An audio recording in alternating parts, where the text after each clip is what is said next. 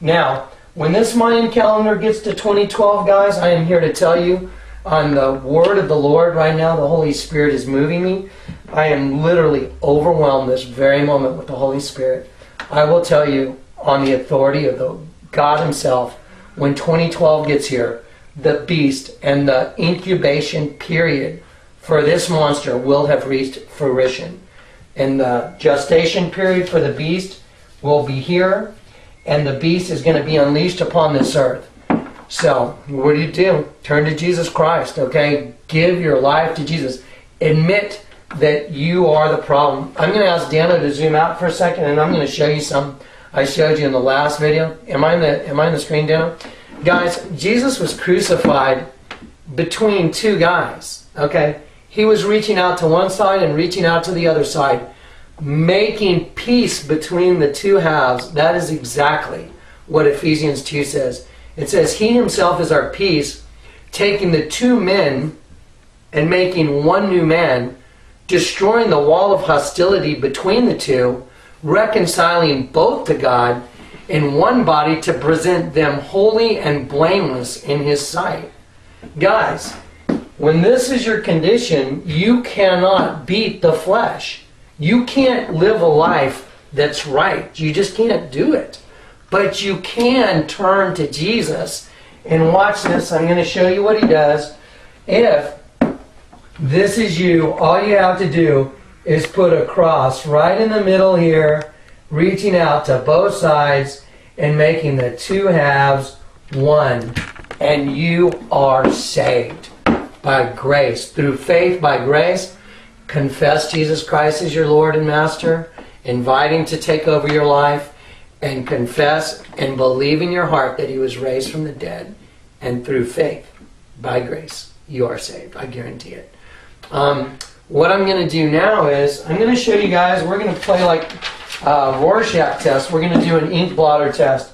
There's there's the face of an alien, guys. Should be pretty easy. Dano, if you zoom out a little bit, so make it a little smaller. Okay, here's the alien's whole head right here. Here's an eye right here. Here's an eye.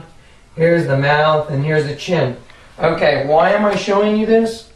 Let me, let me leave him right there for just a second, and I'm going to show you the reason why you're seeing that particular guy, if I can find it. Here we go. That's the Journey CDs, CD, guys. so, what's with the Journey CD? Having an alien on their CD. Wow, that sure looks a lot like the Mayan calendar. And on the head of this guy, it says Revelation. How about that? Looks like they know what's going on. Now I'm going to show you another one. This is the Grateful Dead image of the Grateful Dead skull, and I want to just kind of point out the parts. I lost my pointer, but I'll go ahead and point. Here we go. Okay, so here's the eye, and here's the eye, and comes down, has a look like the teeth. But look on the outside. There's this perfect circle that goes around the skull. There's this outer ring. Let's let's take a look again. Whoa. Let's look at the Mayan calendar. Let me, let me put up the bigger one because it's a little easier to see. Wow, let's check that out. So what, there's the eye, there's the eye coming down. You know, you got your mouth and your chin here, and you got this perfect circle and an outer ring. Whoa! Now check out the Grateful Dead. Isn't that an interesting name, the Grateful Dead? Watch this. Half the skull is blue half is red, and there's a dividing line of lightning, like electricity, down the center. Wouldn't that be a perfect name if you were like fallen angel hybrids? The Grateful Dead. I'm sure that when they showed up from the sky, the the gods, the fallen angels, when they showed up, they, they were they were gods. And they were probably welcomed and they showed us how to do all this cool stuff. And we were probably really grateful, but when they bred with us, they bred death into the human race. Their seed mixed with our seed guaranteed us everlasting death. Now, I'm going to show you guys some more skulls that are kind of the same. There's just another Grateful Dead skull. I think this one's kind of interesting. Same thing, it's got the little eyes, the slits down, and you know, the little skull, the big skull, the outer ring. Look what's in the middle of the skull and eye. Now watch this. Isn't that interesting? It's all one big eye, and that's the people. Oh, kind of like the all-seeing eye. If you've seen my other videos, you know what I'm talking about. And I'm going to refresh them here in just a minute. Okay, so here you have one big eye with the skull in the middle. It looks like the Mayan calendar in the middle again. It's another representation of the same thing. Now I'm going to drop these. Here you go, guys. This one is one of my personal favorites.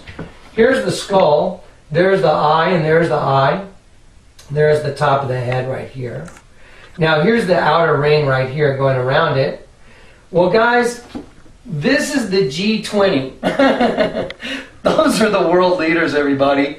They are the puppets of the collective consciousness of the devil, which is right here.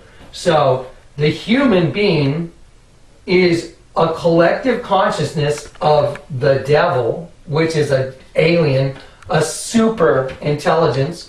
Here it is right here. There's the G20, guys, the world leaders standing in front of a curtain that's got their boss as on the backdrop. Well, that's pretty cool, isn't it? Okay. I'm going to show you guys something real quick, and I'm going to let Dano just keep it running. I'm going to step in front of the camera, and I'm going to go back over here. I'm going to show you guys the way the Lord lets me see things so you can understand the spiritual gift I have. Watch this.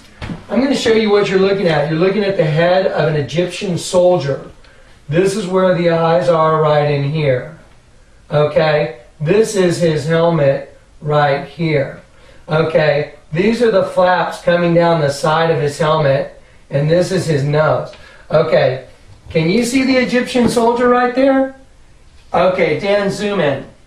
It's the Federal Express logo, guys, but it's some big mighty man holding a box over his head. But what it really is, it's an Egyptian soldier. Okay, I'm going to cut for a minute. I'm going to set up Akhenaten and Nefertiti real quick, and we're going to review it, and then we're going to close this up. Okay.